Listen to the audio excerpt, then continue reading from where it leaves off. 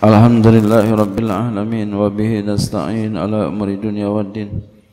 الصلاة والسلام على أشرف الأنبياء والمرسلين سيدنا وحبيبنا شفيئنا ومولانا محمد وعلى آله وصحبه أجمعين. سبحانك لا علم لنا إلا ما علمتنا إنك أنت العليم الحكيم. ولا حول ولا قوة إلا بالله العلي العظيم. Amma ba'du qala musannif rahimahullahu taala. Qala Syekh Al-Alim Al-Allama Imam Hafiz Al-Hafiz Abu Abdullah Muhammad bin Ismail bin Ibrahim bin Mughirah bin Bardizbah Al-Jubi Al-Bukhari rahimahullahu taala. Amin. Babul kalami iza uqimatis salatu. Ini bab berbicara apabila telah dikomatkan salat. Ya, jadi apa hukumnya kalau sudah dikomatkan tapi masih bicara? Nah, ini dijawab di sini. Ya. Wabilai kala haddatsana Ayyas bin Walid Kala haddatsana Abdul A'la Kala haddatsana Humaidun Kala sa'altu sabitan al-bananiya Al-bunaniya anir rajuli yatakallamu ba'dama tuqamu salatu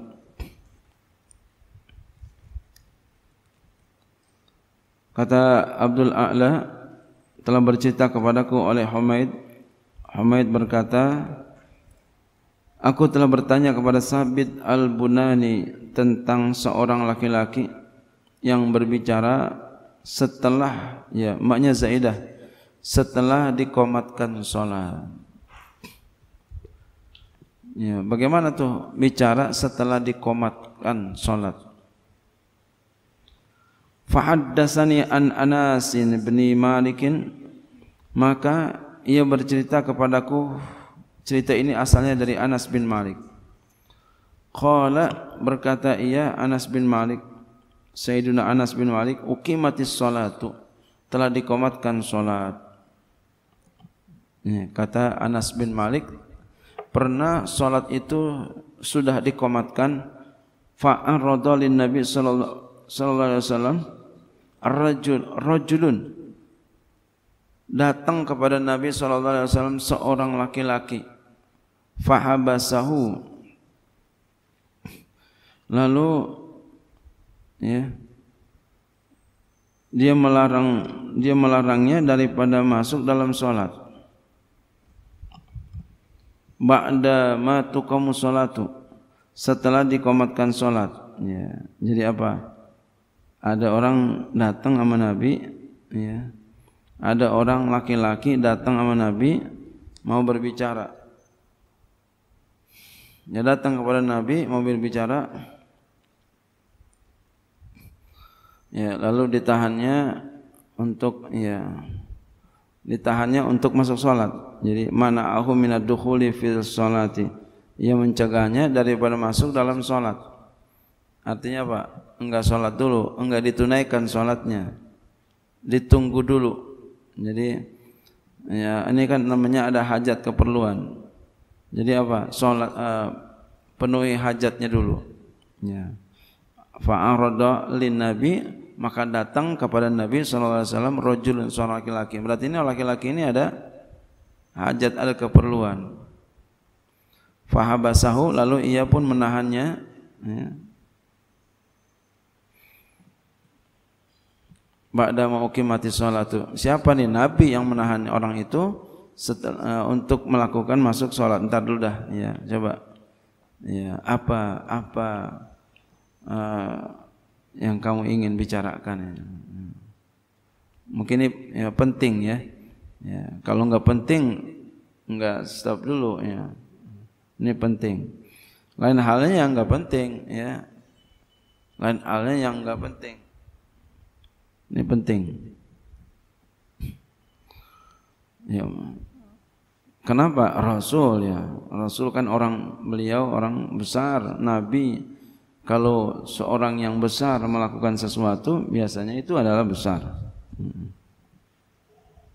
Sampai-sampai sholat ditunda dulu.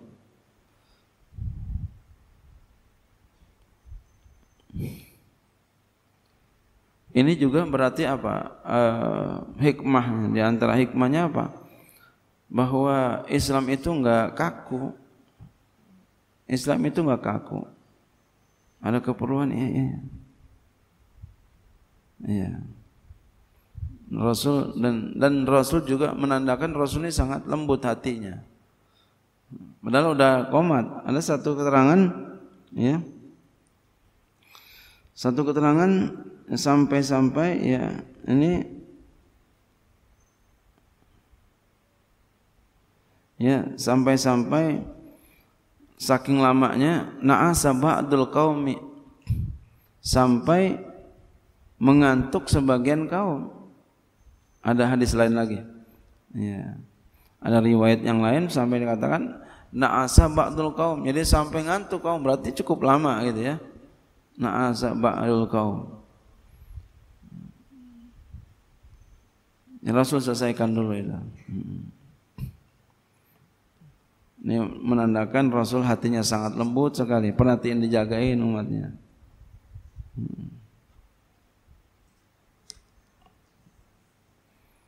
Dan Islam juga sangat toleransi. Fahaddasani ya uh, Fahaddasani an Anas bin Malik. Lalu ia bercerita kepadaku dari Anas bin Malik kalau berkata ia ukimati salatu telah dikomatkan salat fa aradalin nabi lalu datang kepada Nabi sallallahu alaihi wasallam rajulun seorang laki-laki fahabasahu lalu Nabi menahan dia ba'da mati salat setelah dikomatkan salat. Baru komat udah disolatin. Ya, stop dulu, ntar. Ya. Wa qala Al-Hasan lalu berkata Hasan In mana'athu ummuhu anil isya'i fi jama'atin syafaqatan alaihi lam yuti'ha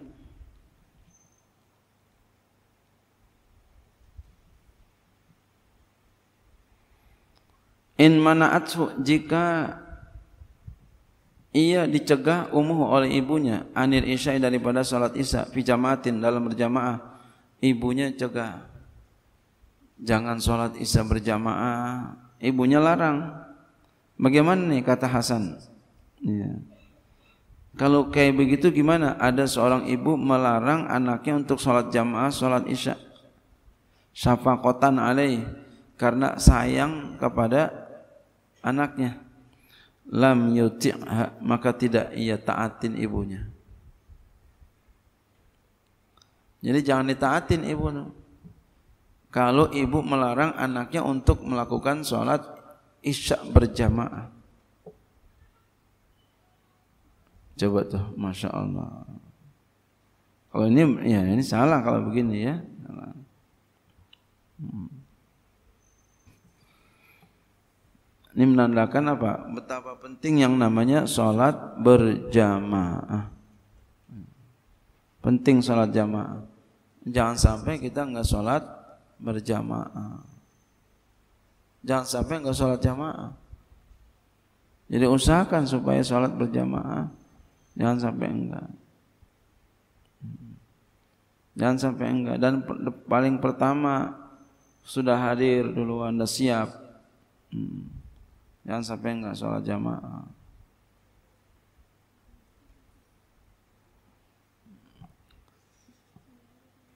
Ya.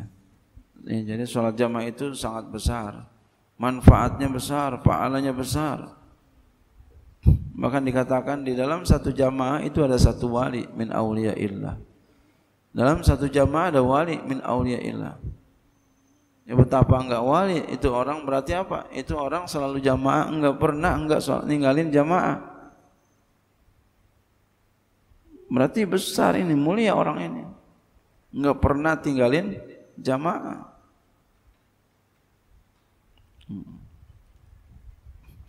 Kalau begini betapa enggak wali itu. Jadi kalau dalam satu perkumpulan yang jamaah itu ada walinya. Nah kira-kira diterima apa enggak sholat itu? Insya Allah yakin diterima. Nah kalau sendiri belum tentu. Masih marju. Iya. jamaah. Apalagi jamaah sama teman-teman kita santri, guru, apalagi ada guru. Santri ada guru, masya Allah. Ya kita pengen ke mana, rombongan mana, ya pemimpinnya, ya gurunya ya insya Allah sampai. Apalagi banyak-banyak yang ya orang-orang yang bagus, jamaahnya bagus. Jadi jangan sampai kita tinggalin yang namanya salat jamaah. Dan usahakan ya salat jamaah kalau bisa di depan, kemudian jangan ketinggalan dari takbiratul ihram imam. Jadi imam takbir Allahu Akbar, kita takbir Allahu Akbar. Senantiasa kamu lakukan ini insya Allah minal khair dunia akhirat Hmm. Ya. Dunia akhirat minal khair insyaallah. Yakin itu. Tapi kalau ketinggalan, mulu ketinggalan, mulu apalagi kagak sembahyang jamaah, aduh. Hmm. Ngaji udah banyak, tapi malas. Hmm. Nah, kalau dia semangat itu di awal selalu kepengen di awal dan nggak mau ketinggalan takbiratul ihram dengan imam saya yakin insya Allah itu orang khair dunia akhirat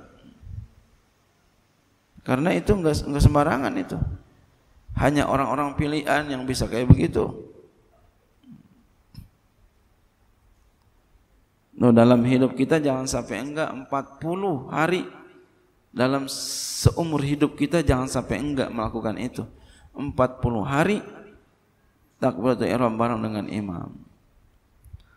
Mudah-mudahan kita dimudahkan untuk melakukan itu. Amin.